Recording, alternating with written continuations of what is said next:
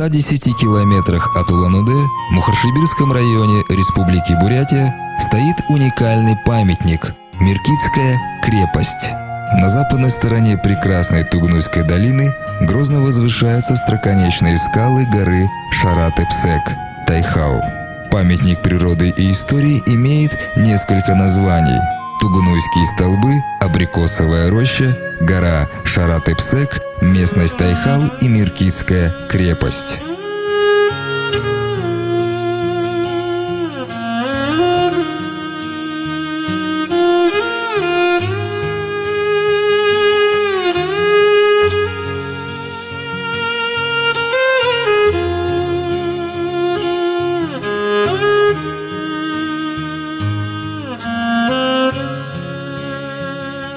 После села Барыкина на 108 километре есть отворот на грунтовую дорогу, которая ведет к Миркитской крепости. Дорога идет мимо степного родника и дальше, извиваясь среди сопок, приводит к подножию красивых скал.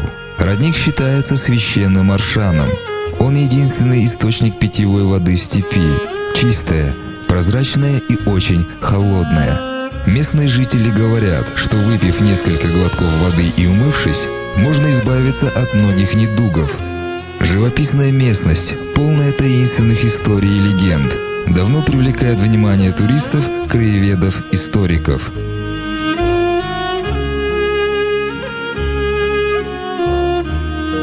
Легенда гласит, что много столетий назад здесь, в Тугнуйской долине, шла страшная битва великого хана с воинственным племенем Миркитов. От криков людей и звона мечей – содрогались громадные валуны крепости. Война случилась из-за того, что меркиты напали на ставку Тимуджина, будущего хана Монголии, и похитили его мать Ойлун. А через год Чингисхан напал на меркитов и разгромил их. В сокровенном сказании монголов написано, что сражение между монголами и меркитами произошло именно в местности Тайхал, то есть возле Меркитской крепости в Тугнуйской долине. Меркиты сражались истово, Крепость держалась несколько недель.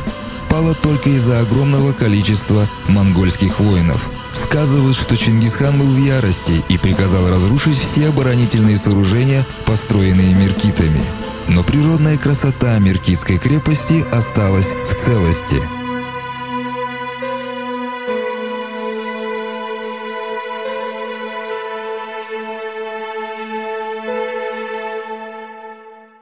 Меркит.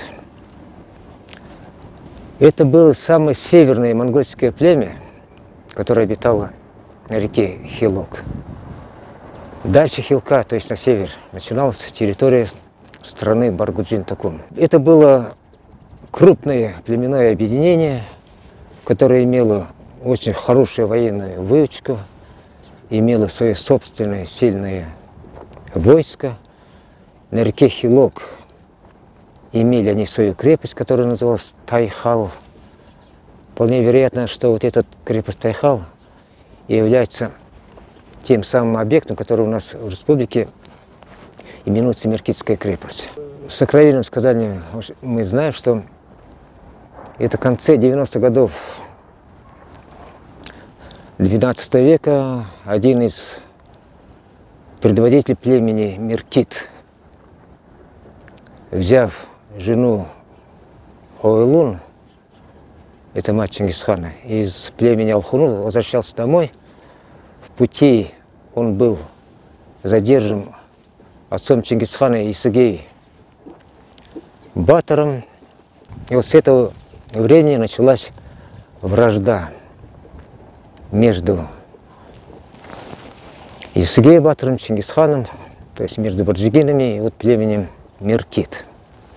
Потому что эта обида меркитами, она не забывалась. Это было очень крупное и сильное э, племенное объединение, которое на территории Монголии, которое вот таким образом завершило свое, свое существование. Это произошло где-то на рубеже 12-13 веков. К вершинам крепости ведет единственная малоприметная тропинка. Подъем не такой долгий, но очень крутой. Она приводит на площадку одной из гор, сплошь заставленной пирамидами из камней. Они созданы туристами. Многие верят, что если соорудить пирамиду из камней, она заберет все твои болезни. Среди обвязанных ходаками деревьев стоят множество пирамидок. Они встречаются почти на всех площадках скал. Повсюду россыпь мелких монет. Это подношение духом гор. Миркитская крепость – это не каменные бастионы, а созданные природой неприступные скалы. Человек лишь приспособил ее под себя, но кое-где все же видны рукотворные приспособления – вертикально установленные камни, уже вросшие в землю, где могли укрываться лучники. В скалах много пещер и лабиринтов, недоступных для людей. Есть громадные валуны с округлыми выемками, которые, возможно, служили для сбора дождевой воды, а может и для сигнальных костров. С вершины крепости открывается ошеломляющее зрелище великолепной Тугнуйской долины. Вдали видна река Хилок, куда впадает неглубокая, очень извилистая речка Тугнуйка. А рядом возвышаются остроконечные горы, покрытые деревьями и громадные скалы с огромными валунами. Ярко-голубое небо, чистый воздух гор и прозрачная даль. Дивная красота, которой невозможно налюбоваться. Одна из удивительных достопримечательностей крепости – Реликтовая абрикосовая роща Чингисхана, занесенная в Красную книгу Бурятии.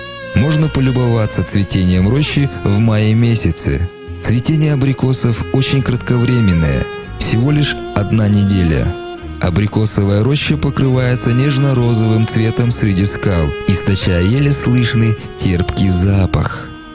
Эта великолепная картина ошеломляет своей красотой – за короткое лето плоды не успевают созреть, они мелкие и несъедобные. Были попытки культивировать кустарники, но безуспешно. Только в уникальном климате горной гряды Тайхала могут расти эти абрикосы. Между двух скал поперек тропы, преграждая дорогу путникам, лежит высохший ствол сосны, названный деревом здоровья. Это еще одна достопримечательность горы.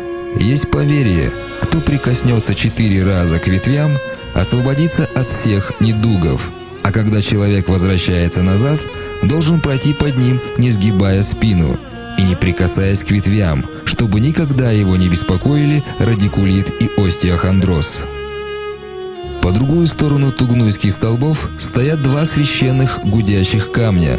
После проведения специального обряда Человек обхватывает один из камней, крепко прижимаясь к нему, и в этот момент валун начинает гудеть, отдавая энергетическую силу человеку. Таинственных мест в Меркитской крепости много.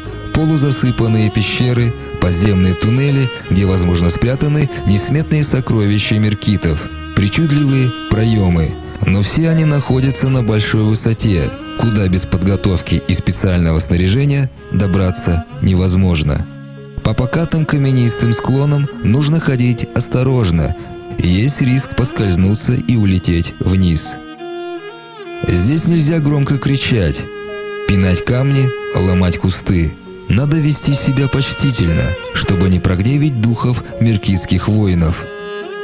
Нет сомнений, что эти горы действительно были естественной крепостью меркитов. С вершины скал хорошо просматривается вся долина и река Хилок. Очень сложно штурмовать такие крутые горы.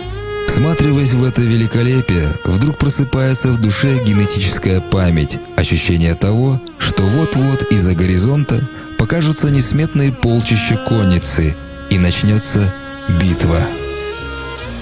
В этой местности туристы и гости республики найдут все – и красивую горную гряду, и живописную долину с неповторимым степным запахом, чудодейственный родник, реликтовую абрикосовую рощу, остатки древних укреплений. В эти живописные места совершают паломничество туристы со всего мира. Их впечатляет невероятное путешествие в прошлое. Легендарная крепость Меркитов хранит тайну, скрытую временем.